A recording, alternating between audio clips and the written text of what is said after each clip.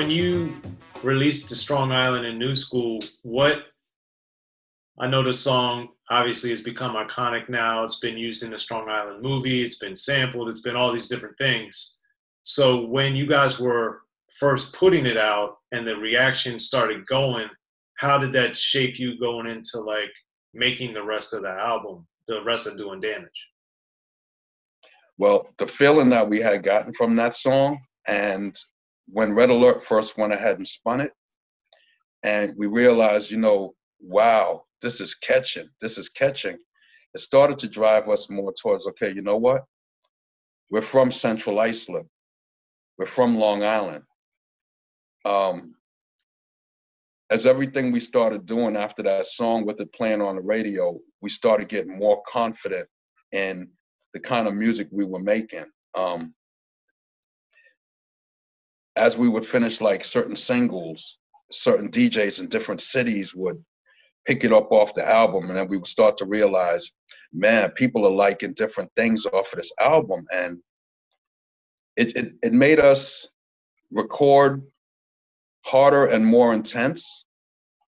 It really, really, to be honest with you, it made us pay attention to what it was that we felt like people had wanted. We felt like, you know, they wanted beats. We grew up and some of the best times in Long Island was the parties, really paying attention to the fact that going through certain eras of hip hop, all of the songs came with great dances.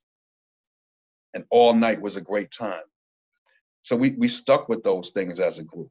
And we always turned around and was like, you know what? One thing people want is a great beat and they want some lyrics.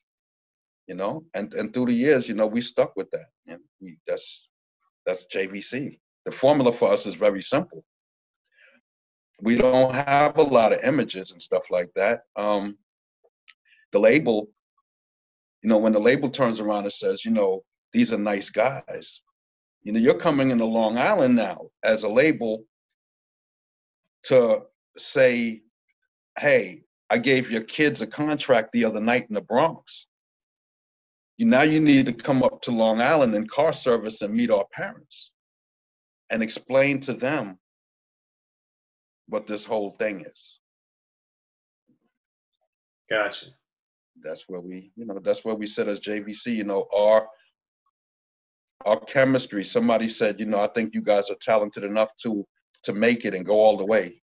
Hey, well, we just got out of high school and just started the first year of college. You need to go and uh, you need to come talk to our parents. Like really, 18 don't let you run the house and make a decision that you can just leave. You know, so um, the labels came up, spoke to the parents and stuff, and I mean, you know, things. It's what it is, but I credit I credit B Boy Records for a lot of things though, because I'll be honest with you, in the world of being thankful, there wouldn't be a Strong Island or Doin' Damage album or any opportunities of intensity if they didn't put that record out. In all honesty, we're, we're, we're lucky that they decided to do more than just a single with us and take the time, regardless of how crooked anybody felt they were, to listen to what else we had. Because we did shop that album to many labels. Many labels came back after the turn around and say, hey man, I wish I would have known when y'all had that song out. Now you knew. You could have, it's the same thing we were talking about. You know, you could have found that out in a meeting that you could have had, but the world was caught up in Brooklyn, Bronx, Manhattan, Queens. Staten Island wasn't even recognized at that time. They were just recognized for the 47Ds. But again, Long Island was, oh, you're from Long Island. Like, well, what what are we supposed to do with a group from Long Island?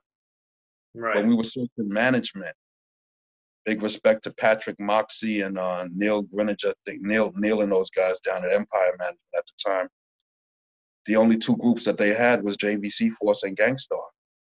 They gave us a shot. It was from meeting these people in Strong Island making noise, and you know somebody like you know um, those guys down there saying, "Hey, you know what? We'll we'll manage you guys."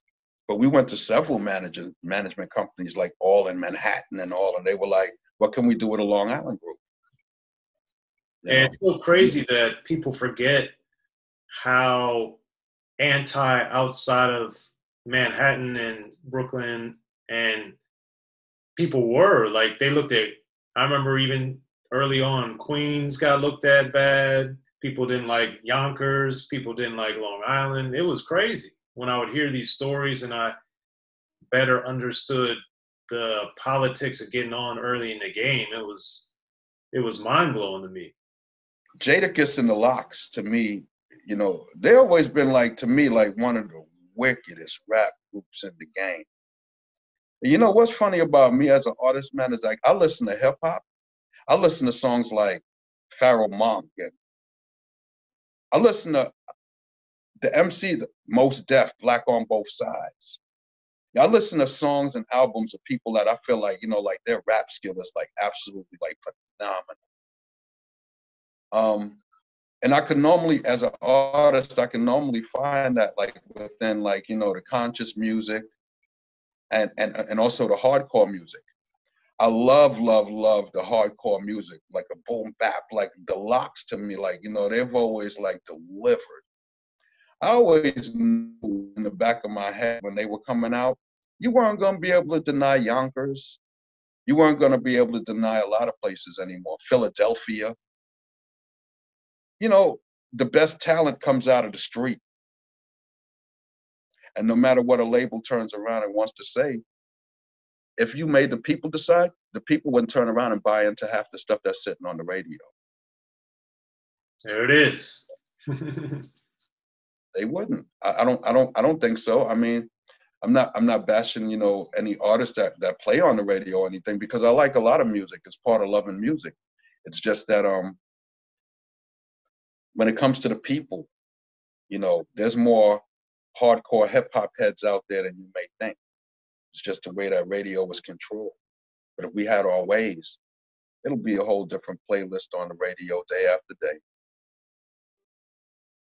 Be sure to check out the history of gangster rap by Soren Baker. He's official. History of Gangster Rap features exclusive interviews with Ice-T, Snoop Dogg, MC Ren, the DOC, and dozens of others. The History of Gangster Rap, a definitive look at how Los Angeles changed rap forever. In Los Angeles, the streets definitely set the tone of the hip hop music. A 19, I got a $50,000 car. My whole angle always was, I'll be street, but I will always tell you the horrors that go along with this life. There will be penalties and casualties for just wearing the wrong color in somebody's neighborhood. And once gangster rap made it from the streets to the TV, the genre exploded.